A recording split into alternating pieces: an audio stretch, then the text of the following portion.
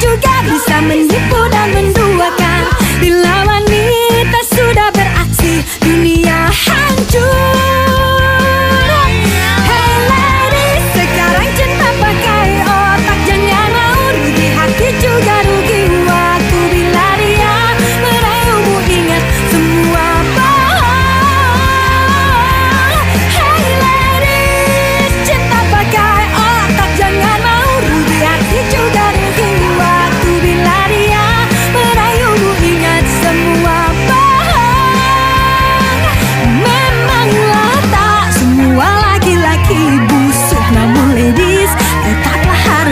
pada semoga lah kita semua